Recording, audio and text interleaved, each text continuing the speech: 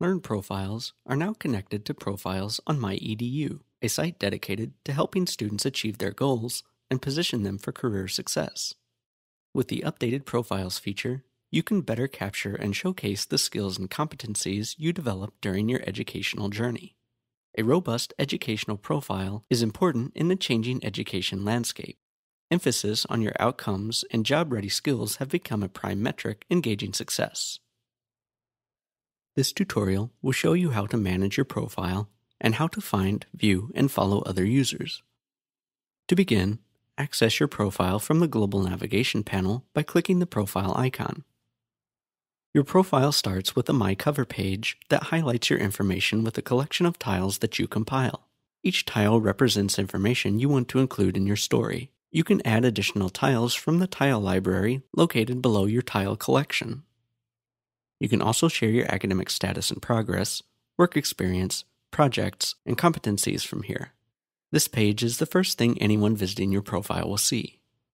Click any tile to edit it, or click Arrange Tiles to drag and drop your tiles into the desired order, or to delete tiles you no longer want to display. If you have not already done so, you can upload an image of yourself by clicking Settings and Privacy. Here, you can also change how you would like your name displayed and write a short introduction about yourself. If needed, you can also change your primary email address and privacy options. When you are finished, click Save. You can go directly to the projects, competencies, and work experience pages to build out your content in detail. Your network displays people who are following you and the people you are following. You can find and interact with anyone with the user profile so long as the profile is not set to private or hidden.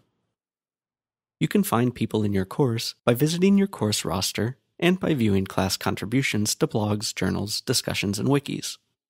You can also find people from the People or Spaces page in My Blackboard. You can preview profiles by hovering over a user's avatar. The user's profile card will appear displaying the user's name, graduation date, and top 8 tiles. This is also how your profile card will appear to other users. You can click View Profile to see the full profile and interact with the owner, or click Follow to request to add the user to your network. The People page in My Blackboard provides access to requests to follow you, who is currently following you, and who you are following. Let's review.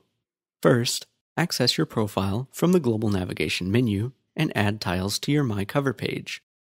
Next, upload an image of yourself, arrange your top 8 tiles, and find other users to follow.